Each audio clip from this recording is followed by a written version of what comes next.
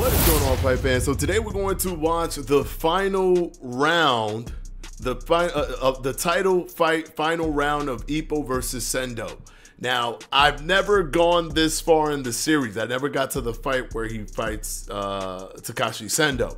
But we're going to watch it together. Why not, right? And I'm going to look at this and with a critical eye too. One thing that I love about the show is that yes, they're hyperbolic about what they display, but it's rooted in a realistic boxing strategy, right? Like for example, forget the name of the uh, of the dude that has the long arms. Obviously, the way he's jabbing is crazy, is super fast, it's hyperbolic for anime. But it makes sense in, in in in the fact that he's the guy with the long range that's throwing the super snappy jab. He he's based off of Tommy Hearns, so he's uh you know he he, he Tommy Hearns will throw real fast whack whack. You know what I'm saying? Whack, real fast jabs. So he's kind of in a hyperbolic way showing that it's hard to get on the inside because you're going to be throwing these fast jabs at you, uh, you know, with the with the hitman style, which is Tommy Hearns. So they've always been rooted in a realistic base, and then they over exaggerate it for the entertainment value.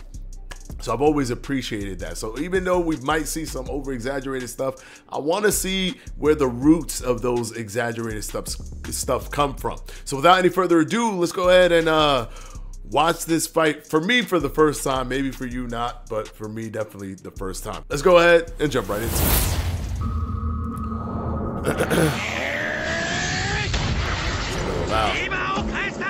so he caught him with a liver blow.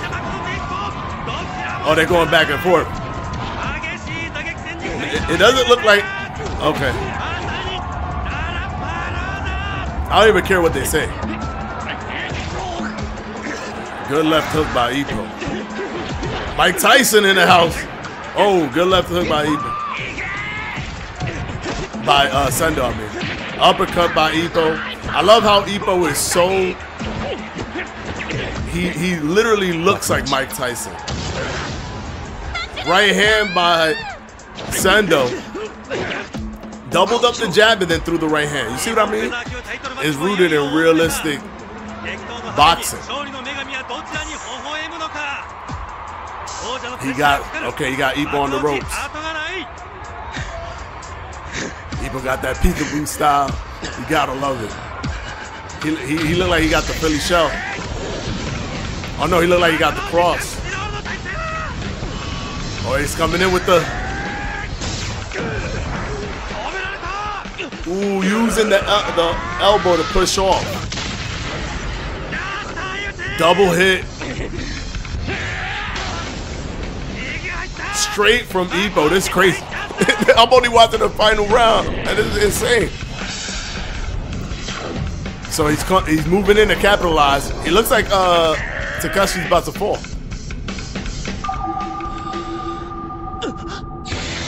See now that eye, that symbolizes the killer instinct. Oh, oh, he slipped it. Woo! Oh my goodness, you gotta love this. You gotta love this anime. He slipped it. Got him. Now, here's one thing. Oh, slipping. Oh, it was a to throw him off, to get him to, and then get him with the with the uppercut. Beautiful. Oh man, coming in. Oh, it was. Is he gonna dodge that? Oh no, it's a wrap. It's a wrap. Left and right. See now, you see this is the over exaggeration, but he's basically battering his opponent. This is like the what it this is the anime over exaggeration of what battering your opponent would be. He just destroyed him. There's no way Takashi Sendo is gonna get up from that.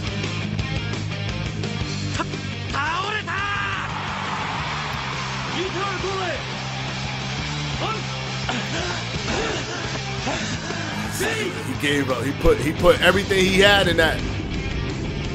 So right now he's praying that he doesn't get up because he's tired. He gave it. He gave it his all. You could tell.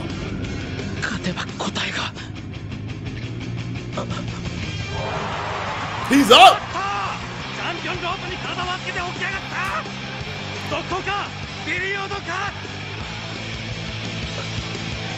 Okay. He should go in for the kill, but he might be too tired. He might have. He might have. Uh. Or he's getting that killer instinct. Uh oh. Uh oh. Because going to fall. He may have punched himself out. Oh, wait. Wait, they're still counting? Oh, it's over. So he was up, but he wasn't. He was still leaning on the ropes. And, the, and he was still kind of wobbly.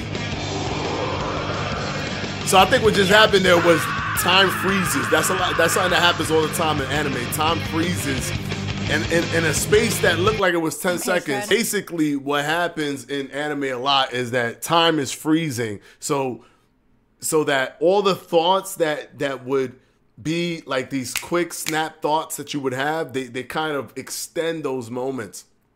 So him getting up and him looking at him is just like an extended moment of like a uh, uh, uh, uh, this like extended moment in time of like splits of seconds, right?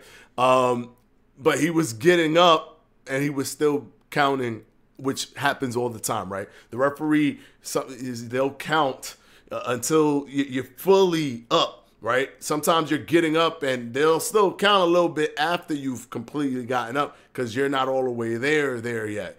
And that's what it looked like it did there. So I love that subverted expectation moment where you thought, oh, maybe he's gonna get up. Maybe he's he, he's actually you know he's gonna he's gonna fight this thing and get up. But that was uh I, that uh, the barrage was so crazy that I was thinking, wait, this looked crazy. I don't know if this dude's gonna get up. And I was proven right, although I did get uh, it, it did kind of try to swindle me, trick me in that last moment. That was such a fun final round.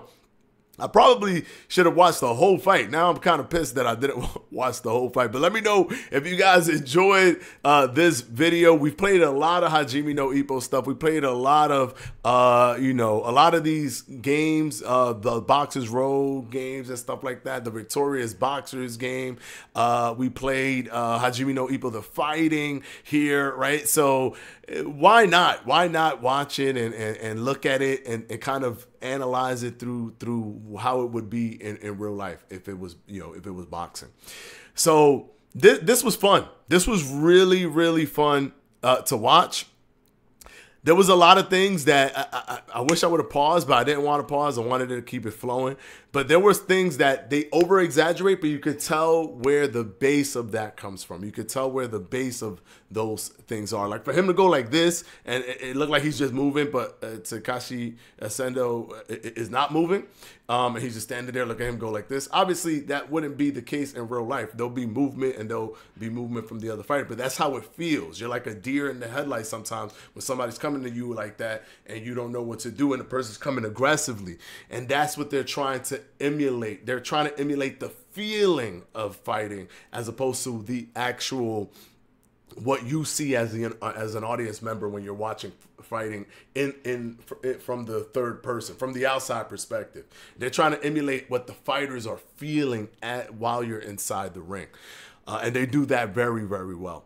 All right guys let me know if you guys enjoyed that. If you want to see me play Hajime no Ippo the fighting and actually use that combo because that was a super in the game in the game that I'm playing, you can go ahead and click right here. It should take you right to that video. And until the next time, guys, peace out.